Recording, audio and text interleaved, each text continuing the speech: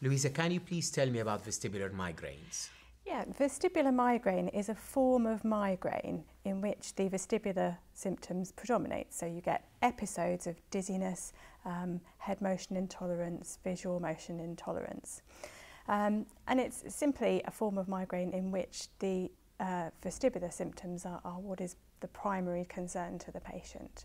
Mm-hmm. And you can recognise it because it's recurrent and episodic in patients who have a history of migraine. Um, so they will describe a dizzy spell in which they are experiencing headache, recognisable migraine headache, um, or photophobia, or phonophobia, or aura symptoms. And in many cases, there'll be complete recovery in between the symptoms. In some patients, there'll be interictal symptoms of disequilibrium, of um, head motion intolerance and visual motion intolerance, and those um, can be addressed separately. Okay. So with, with uh, the, the, classical migraine patient, um, uh, we, we traditionally uh, know that 60 minutes for the aura, for example. Is dizziness um, a component of the aura or is it of the headache? Oh, that's, a, that's a great question and one which is much debated amongst experts in the field. Some of the dizziness can be due to aura and it can come on before the headache.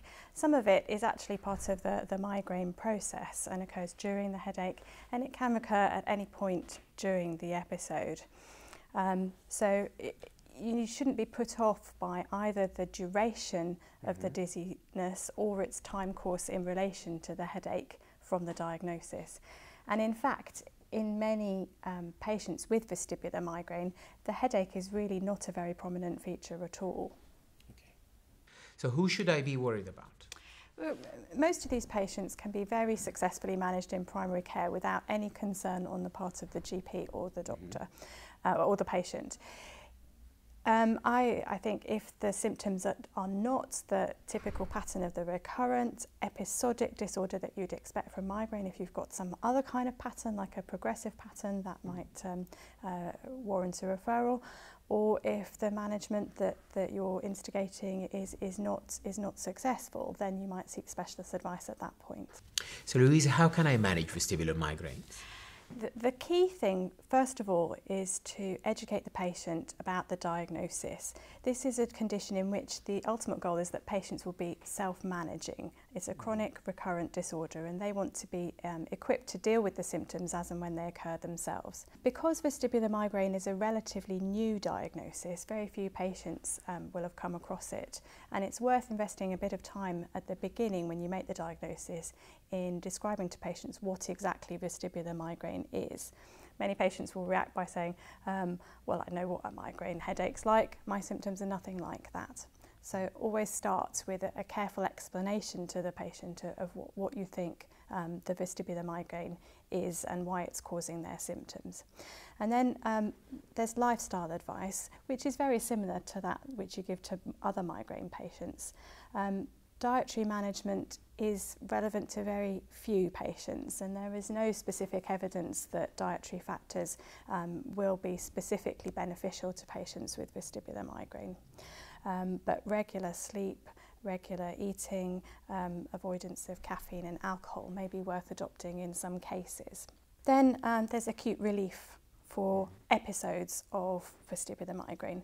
The headache you manage along standard lines with analgesics and triptans if required.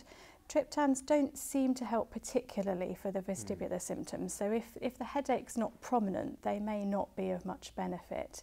And in those patients, you can use uh, vestibular sedatives like cinnarizine, cyclizine, prochlorperazine, domperidone, but only very short um, courses for, for acute relief symptoms only. If you're failing to get on top of things um, with acute relief, then the next step of the ladder is to think about prophylaxis. Again, just as you would for migraine headache. And the key thing about vestibular migraine here is to incorporate the vestibular symptoms as well as the headache symptoms when working out the total disability to determine the threshold to start the prophylaxis.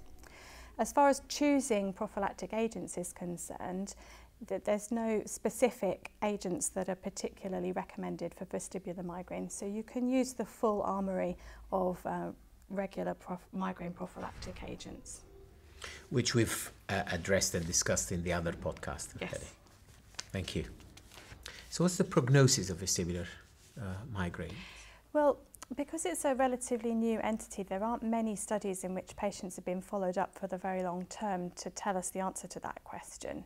Um, and the answer is it's likely to be quite variable from with some patients having um, a very benign course and some patients having more problems as, as, as the years go on. Mm. Very much like migraine where um, uh, there is the possibility of developing a, a chronic pattern but many patients will find that actually um, at different periods of their life they will develop um, migraine attacks that are problematic, whereas at other times it's much more quiescent. And as people move um, into their um, older years, it tends to, to, to settle down completely. Any role for rehabilitation?